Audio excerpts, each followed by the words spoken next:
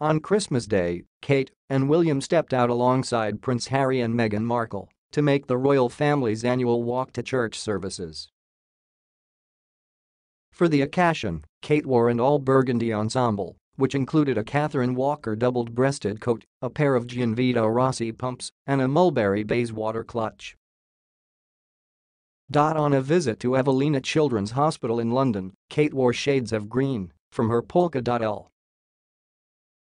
K. Bennett dressed to olive green clutch by the brand and matching heels. While visiting Royal Air Force members in Cyprus, Kate took a page out of Meghan Markle's playbook by wearing wide-leg navy trousers with, which she also owns in navy, and matching olive suede L. K. Bennett Clutch and Pumps.to host a palace Christmas party for military service members. The mom of three had the ideal holiday party hostess outfit, a festive tartan skirt by Emilia Wickstead with a Brora cropped cashmere cardigan and black suede boots. Kate wore a pleated Catherine Walker dress with black piping, which she accented with a croc-embossed Aspinal of London handbag and velvet touches, including stacked heel pumps and a ribbon in her ponytail, reportedly this one from J. Crew, to attend a tribute to victims of a recent helicopter crash